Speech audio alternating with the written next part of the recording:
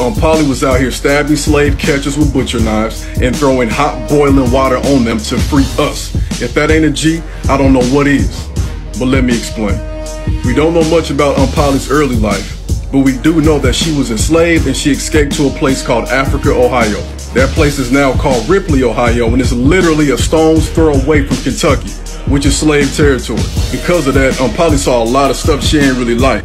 For example, after the passage of the Fugitive Slave Act, white folks were incentivized to catch any black person and sell them into slavery. And because she was on this border, she saw a lot of white folks acting like they were Underground Railroad conductors when they were actually slave catchers or overseers. She knew they wanted younger black folks, so she dressed up like an older woman and went to town with clothing that was large enough to conceal her weapons.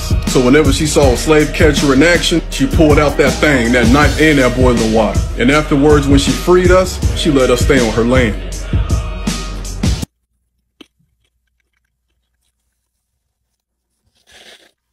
Yes!